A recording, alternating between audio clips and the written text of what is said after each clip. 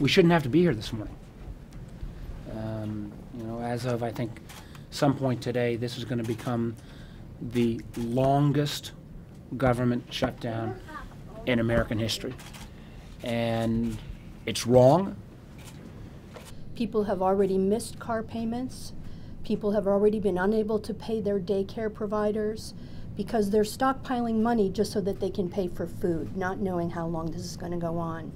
And it's just very frustrating to effectively be told that for a policy initiative, you know, a policy initiative is more important than putting food on my daughter's table or putting clothes on my daughter's back or putting a roof over her head. You know, we bought a house uh, here in Alexandria um, back in August, and you know, mortgage payment's going to come due at the end of the month, and I'm pretty sure that we'll be fine making that payment. I don't know what happens down the road. This is my fourth shutdown I've been through.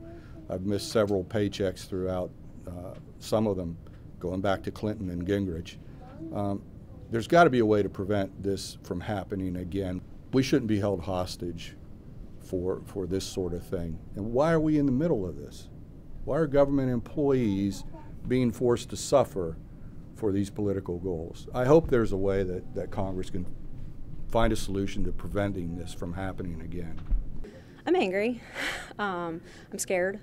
Uh, I've been planning, but I will say since uh, the day, you know, that Friday night when we went into government shutdown, Christmas was not a relaxing time for me. I've been really nervous. Um, I was happy we got that first paycheck after Christmas for um, the work that we had done. But I was planning for the fact that we might not get this one. And I'm glad I did that because, um, you know, I made all the essential payments and I still have some funds to make sure we can, you know, pay for food for the kids. Um, but it's scary, and it's scary not knowing when I will get paid next. We saw that the government is actually sending out pay stubs with zero dollars, almost worse than not having anything.